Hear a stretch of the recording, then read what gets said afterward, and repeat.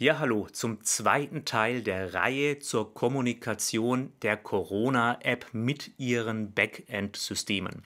Im ersten Teil haben wir uns angeschaut, wie die App mit den Backends kommuniziert und wir sind so weit gekommen, bis die die Tagesschlüssel, die Temporary Exposure Keys der positiv getesteten hier in dieser Datenbank landen. Und heute wollen wir uns anschauen, wie diese Schlüssel an alle Apps der Teilnehmenden übertragen werden. Eine kleine Warnung vorneweg. Das ist ein sehr technisches Video, das sich an Softwareentwickler und Softwarearchitekten richtet. Also wir gehen hier recht tief rein. Wir schauen uns diesmal noch nicht den Code an, wir schauen uns die Kommunikation an, ein bisschen was zur Architektur. Ja, und wir werden uns auch anschauen, was denn hier in der Tabelle in diesen Formaten drinsteckt, in den Dateien, die dann übertragen werden zum Telefon. Wir machen das erst mit einem Test-Setup und dann, dann zapfen wir das richtige S3-Backend hier bei der Telekom an und ziehen Live-Daten raus und schauen mal, was wir da so finden. In der letzten Folge, da sind die Schlüssel, die Temporary Exposure Keys, hier schon in dieser Datenbank angekommen. Und wie gesagt, jetzt geht es darum, dass diese hier nach draußen befördert werden. Dazu ist diese CWA-App in zwei Teile gespalten. Das ist ein, äh, ja, ein Repository, ein Git-Repository mit äh, die haben Maven-Projekt, das dann in Subprojekte gegliedert ist. Das eine bietet hier hauptsächlich eine API an, um die Daten dann in der Postgres abzulegen. Und die zweite App, das ist die Distribution-App, die, die zieht die Daten aus der Postgres ab, wird von außen angestoßen. Da sind ein paar Jobs drin, drei Jobs, die nacheinander ablaufen. Der erste Job, der bereinigt die Datenbank und den S3-Speicher um Datensätze, die älter sind als 14 Tage. Der zweite Job bereitet die Übertragung zum S3 vor, indem dass er hier eine Struktur aufbaut und Signaturen erzeugt. Und der dritte Job, der schickt dann die neu angekommenen Keys hier von der Postgres in den S3 Object Store Cloud Speicher und von dort steht er dann zur Verfügung, dass er vom Telefon abgeholt werden kann. Wir schauen uns jetzt an, wie diese Daten hier in der Datenbank aussehen. Mit dem Projekt kommt ein Docker Compose File. Wenn ihr das hochfahrt, ja, dann startet hier eine, eine Postgres Datenbank, ein PG Admin, eine Oberfläche, um die Datenbank zu verwalten, die ihr hier seht, und ein S3 Object Store. Der Quellcode ist ja frei verfügbar und wie gesagt, wenn ihr den runterladet, dann findet ihr auch eine Anleitung, wie ihr das starten könnt und dieses Docker Compose File. Äh, hier habe ich jetzt die CWA-Datenbank und die besitzt zwei Tabellen. Die eine ist vollkommen uninteressant, diese Schema History, das ist für Datenbankmigrationen und die eigentlichen Daten, die liegen hier in dieser Diagnosis äh. Ich mache mal hier einen Abruf und da könnt ihr sehen, dass hier unten 14 Einträge drin liegen. Die habe ich mal hochgeschickt. Ich habe mal ein kleines Programm geschrieben, mit dem ich Testdaten erzeugen kann. Und das ist so eigentlich die, die einzigsten Daten, die auf diesem CWA-Backend liegen. Äh, das ist zum einen so ein Exposure Key, also so ein Tagesschlüssel, aus dem dann bis zu 144 einzelne Schlüssel abgeleitet werden oder äh, Rolling Proximity Identifiers abgeleitet werden, die dann jeweils für 10 Minuten gültig sind. Und das ist dann die Nummer dieses Intervalls, dieses 10-Minuten-Intervalls. Da wird gezählt vom Epoch, vom dem 1.1.1970 bis heute in 10-Minuten-Schritten. Also wenn sich die Zahl hier hinten um 1 erhöht, dann sind schon wieder 10 Minuten vergangen. Und das ist der Timestamp, als dieser Exposure Key hochgeladen wurde. Und hier wird auch wieder von Epoch vom 01.01.1970 gerechnet, allerdings in Stunden. Das heißt, wenn ihr hier um 1 hochzählt, ist eine Stunde vergangen. Und hier ganz interessant, der Transmission Risk Level, der ist aufgespalten, das ist ein Enum und die 4 bedeutet, dass derjenige, der die Keys hochgeschickt hat, klinisch getestet wurde. Dazu später aber auch noch mehr. Also wie gesagt, äh, positiv getestete die bekommen dann eine TAN und mit dieser TAN sind sie in der Lage, die Schlüssel hochzuladen und die landen dann in dieser Datenbank. Und wie die Schlüssel von dieser Datenbank dann weiterverarbeitet werden, das schauen wir uns jetzt an. Ich habe jetzt in meiner Entwicklungsumgebung das CWA, das Corona Warn App Server Backend. Das ist ein Java 11 Programm, äh, das mit Maven gebaut wird. Und dieses Projekt enthält nochmal drei Unterprojekte. Ein Common-Projekt, in dem sind die Schnittstellenbeschreibungen. Äh, Submission, das ist für das API und das Schreiben in die Datenbank. Und wir interessieren uns heute für Distribution, also wie die Daten von der Datenbank in die S3, in den S3 Object Store kommen. Und das ist eine äh, Spring Boot Anwendung. Also seht ihr hier, hier ist ein, eine Applikationsklasse, die ich ausführen kann. Und die startet dann diese drei Runner hier. Der erste, der löscht die alten Einträge, Assembly signiert dann und S3 äh, Distribution schiebt dann die Daten in den S3-Speicher. Ja, und ich führe das jetzt mal aus. Das heißt, er soll jetzt aus der Datenbank die Daten äh, rüberschieben zum S3. Wie gesagt, auf meinem Rechner läuft lokal äh, in Docker Compose ein S3 Object Store. So, und jetzt ist er auch schon fertig. Und da seht ihr hier oben, da hat er jetzt ein neues Verzeichnis angelegt, out. Da werden die Daten auch nochmal auf die Platte geschrieben. Und das ist jetzt das gleiche, was in dieser Datenbank steht, allerdings aufbereitet schon in der Struktur und mit Signaturen, wie die Daten dann in den S3 Object Store kommen. Ihr seht hier ähm, auch nochmal zwei Verzeichnisse. Configuration. Mit diesem Verzeichnis hat jetzt die Bundesregierung die Möglichkeit oder das Robert Koch Institut die Berechnung zu modifizieren. Also da drin steht jetzt eine Datei mit äh, Parametern und die Parametern bestimmt dann die Berechnung äh, im Notification Exposure Framework auf dem Telefon.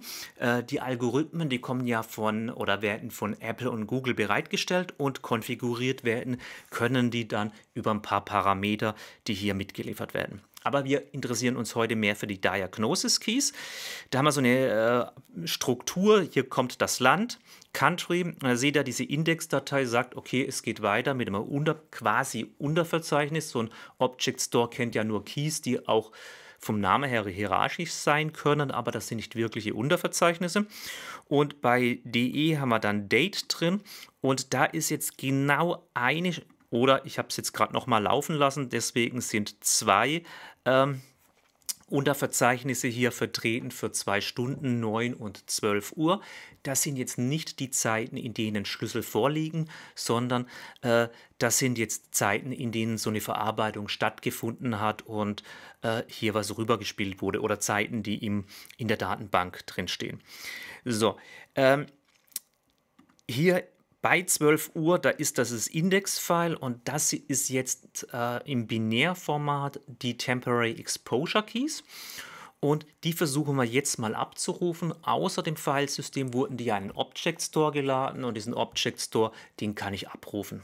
Ich bin in einem leeren Verzeichnis und führe jetzt ein HTTP-Kommandozeilen-Client aus Curl und schicke eine Anfrage an den lokale S3-Server CWA Version V1 Diagnosis Keys Country.de. Ihr seht, das ist genau der Aufbau, den wir gesehen haben, gerade im Filesystem. Und ich rufe jetzt für heute die Keys ab. So, das hat er jetzt durchgeführt. Und ihr seht hier die HTTP äh, Kommunikation die Anfrage und die, die, die Antwort. Und wir bekommen dann ein HTTP 200 OK zurück, äh, 716 Bytes, Application ZIP, also ein ZIP-File. Und der Server ist ein S3-Server. Also das ist hier nicht wirklich einer von Amazon, das ist hier ein Nachbau, der lokal läuft, aber der verhält sich so und hat das gleiche API wie äh, der Original S3-Speicher. Und wenn ich jetzt nachschaue hier, dann seht ihr, er hat eine Datei hier angelegt von 716 Bytes Keyed ZIP und diese Datei äh, die kann ich jetzt ansippen und dann bekomme ich zwei Dateien. Zum einen äh, die Daten, die Schlüsseldaten und dann zum Sichern eine Signatur, um zu überprüfen, ob sich da nichts verändert hat. Äh, ihr könnt hier auch per HTTP ohne HTTPS, also unverschlüsselt drauf zugreifen und da muss natürlich die Integrität gewährt sein. Deshalb kommt dann nochmal so eine Signaturdatei mit, die dann auf dem Telefon überprüft wird. So, und jetzt habe ich diese Exportdatei, die kann ich mir mal anschauen. Das ist eine Binärdatei, deshalb pumpe ich die gleich zum Hexdump-Tool und zeigt mir das mal an. Und da seht ihr hier die Binärdaten und hier oben, das ist ganz raffiniert gemacht, das sind hier die ersten 16 Bytes und diese ersten 16 Bytes werden hier als Magic benutzt als Zeichenfolge, die immer fix ist und damit kann man das Format erkennen, wenn man nicht den Dateinamen verwenden möchte. Und wenn in einer Datei EK Export V1 drin steht, dann ist es genauso eine Datei, die Schlüsseldaten enthält. Uns interessiert natürlich das, was hier unten kommt. Und um das auszulesen, da habe ich ein kleines Programm geschrieben. Das schauen wir uns mal an und da holen wir jetzt die Daten wieder raus. Um die Binärschlüsseldaten lesen zu können, verwende ich dieses kleine Projekt. Äh, ich verlinke das euch auch noch unten in der Videobeschreibung.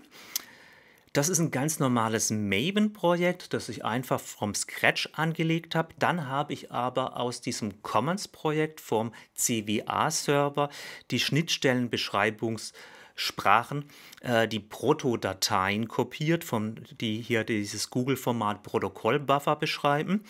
Und das habe ich hier einfach reinkopiert und dann noch in äh, ein Maven-Plugin aufgenommen, das aus dieser Schnittstellenbeschreibung Java-Code erzeugen kann. Für uns jetzt sind nur zwei Datenstrukturen interessant, die wir hier in dieser Beschreibungsdatei finden. Die erste Struktur ist diese hier, diese Temporary Exposure Export Struktur. Und da bekommen wir mal mitgeteilt, ähm, Timestamps von wann bis wann die Daten hier gelten, für welche Länderregion das Ganze gilt. Und ansonsten ist hier einfach eine Aufzählung drin, also eine Liste von äh, Temporary Exposure Keys, also von diesen Tagesschlüsseln. Und die Struktur, die ist hier unten beschrieben. Das seht ihr hier. So, und da ist zum einen die Binärnachricht enthalten als Bytes. Array, dann haben wir das Transmission Risk Level, das ist dieses Übertragungsrisiko, später noch mehr dazu.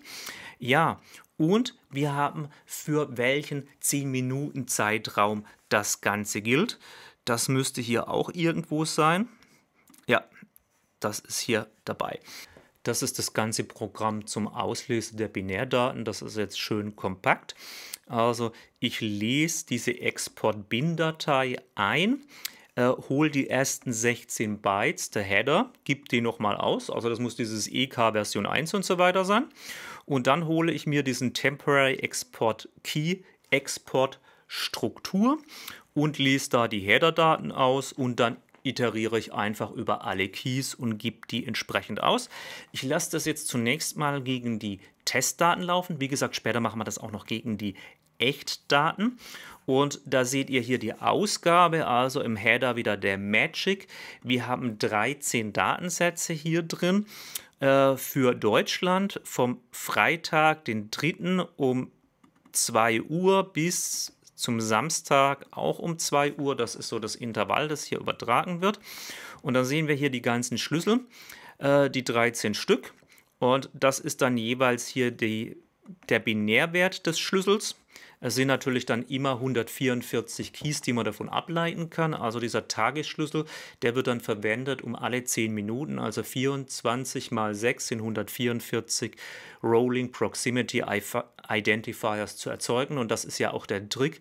Die werde nicht übertragen, sonst wäre das Ganze zu groß, sondern das äh, ja, rechnet bei euch die, die, die, die App selber aus, dann bezahlt ihr damit Akku Kapazität, aber dafür spart dann halt natürlich der Betreiber und äh, wir überall Bandbreite. Ist auch so ganz in Ordnung, wie das gemacht ist. Ähm, Ja, und dann natürlich noch die Startintervallnummer, von wann das Ganze gilt. Und ihr seht, dass das sortiert ist. Allerdings ist nicht nach Zeit oder so sortiert, sondern die haben das jetzt hier nach den Keys sortiert. Das ist auch sinnvoll. Damit geht auch die Reihenfolge verloren, um da irgendwelche Schlüsse draus zu ziehen. Das wird gleich viel, viel schwerer gemacht. Gut, das ist jetzt relativ uninteressant, weil das ja meine Testdaten sind. Jetzt wollen wir mal schauen, ob wir den Telekom-Server anzapfen können und von dort echte Daten herunterziehen und mit diesem Programm entschlüsseln können und dann schauen, was da momentan an Exposure Keys übertragen wird. Um Echtdaten zu bekommen, gehe ich jetzt natürlich nicht gegen Localhost, sondern ich verwende den Endpunkt bei der Telekom. Da bin ich bei einem Content Delivery Network, das ist vor den S3-Server vorgeschalten, um äh, besser skalieren zu können, um die Last abzufangen. Und äh, der, dieser Cache füllt sich dann mit den entsprechenden Daten. Und hier sieht er wieder den gleichen Aufbau, Version, V1, Diagnosis Keys und so weiter. Ich hole mal die Daten von gestern und ja, dann nennen wir die auch nicht Keys heute, sondern Keys gestern. So. Und jetzt habe ich das wieder mit ZIP-File. Ich schaue mal, wie viel das ist. Das ist ein bisschen mehr. Das sind jetzt so 35 Kilobyte. Äh, und sehen wir sonst noch irgendwas raus? Ach ja, da ist noch ein Nginx. Wahrscheinlich wird der Nginx äh, Webserver benutzt in diesem Content Delivery Framework oder ist als Reverse Proxy nochmal vorgeschalten. Und wir sehen hier an diesen Erweiterungen AMZ, Amazon, das sind jetzt hier auch nochmal äh, Hashes und Headerfelder, die vom S3 Storage kommen. So, ich ansippe die Datei wieder und bekomme hier meine Export-Bin, diesmal mit 58, ah, ist doch ein bisschen mehr, 58 Kilobyte. Äh, ja, das ist jetzt, weil es entzippt ist, logisch. Und Jetzt kann ich einfach das gleiche Programm nochmal ausführen wie gerade, nur läuft das jetzt natürlich gegen die neu heruntergeladenen Schlüssel und hat ein bisschen mehr Daten geliefert und zwar 1960, 1960 Keys. Da muss ich jetzt mal nachrechnen. Ähm, 1960 geteilt durch 14 Tage. Das gibt dann 140, also es sind vielleicht 140 äh, von 140 Infektionen die Daten, aber wir sehen gleich, dass wir da noch ein bisschen was abziehen müssen. Vielleicht gibt es auch noch ein paar mehr, weil nicht jeder 14 Tage hochlädt. Manche haben die App vielleicht drei Tage, vielleicht einen Tag und sind dann schon positiv getestet. Schauen wir nochmal an, was wir zurückkriegen an Daten, an Datensätzen. Also zunächst nochmal die Header-Daten. Das Ganze ist jetzt von äh, hochgeladene Schlüssel für den Zeitraum vom 2. Juli von 8 bis 22 Uhr in Deutschland. Und jetzt kommt schon der erste Schlüssel hier äh, für, den 27. Juni und der hat jetzt ein Transmission Risk Level von 5. Da muss ich mal nachschauen. Wie gesagt, das ist ein Enum. Das ist, oh, da haben wir was ganz, ganz Seltenes, ein Self-Report. Eigentlich gibt es das in Deutschland nicht. Der Self-Report heißt, das sage ich selber, dass ich Corona habe. Das wird natürlich auch entsprechend so in die Berechnung eingeflossen, dass das nicht ganz so sicher ist, dass wir dann da angesteckt werden. Aber ich wusste gar nicht, dass das geht. Also wenn jemand von euch weiß, wie da so eine 5 reinkommen kann, also wie gesagt, das sind die Echtdaten von der Telekom, das würde mich mal interessieren. Dann haben wir ein Risk-Level von 1. Das heißt, dass der Test bestätigt ist, aber niedriges Risiko. Eine 6, was bedeutet negativ. Also hier haben wir sogar mehrere Negativsätze. Das heißt, von diesen 140, das sind nochmal einige weniger, weil hier auch jemand es geschafft hat, negativ hochzuladen. Sollte eigentlich nicht möglich sein, weil nur wer positiv getestet ist, bekommt eine TAN. Ich vermute aber mal, dass das Testsätze sind, dass das hier die SAP oder die Telekom, dass die das selber ausgeführt haben. Ansonsten sollte das nicht möglich sein, Ja, mit dem Trick ist es möglich. Also, wenn ihr nicht die App benutzt, sondern ihr äh, benutzt ein selber geschriebenes Programm oder ihr simuliert die Kommunikation von Hand, könnt ihr, wenn ihr positiv getestet seid, natürlich dann auch ein Testergebnis hochschicken, das negativ ist mit diesem Schlüssel, den ihr gekriegt habt. Das wäre denkbar und könnt damit diesen Risk-Level wahrscheinlich manipulieren. Ist jetzt eine Vermutung, müsste ich mal in den Code reingucken, ob das nicht irgendwie gesichert passiert ist. Also so rein aus dem Gedächtnis weiß ich es gerade nicht, aber könnte gut sein, dass es vielleicht sogar abgesichert ist. Äh, Level 8, Unused or Custom. Also dieser Risk-Level hier ist auch irgendwie wahrscheinlich aus Testzwecken und nicht aus einem normalen Betrieb entstanden. Und die anderen hier mit 1 bis zum Risk-Level 4 sind dann normale. Ja, da ist nochmal 3 ein höherer und äh, ja, damit seht ihr, was übertragen wird. Also das bekommen jetzt die einzelnen Apps übertragen und die können dann aus diesen Schlüsseln sich diese ganzen 144 für den Tag generieren.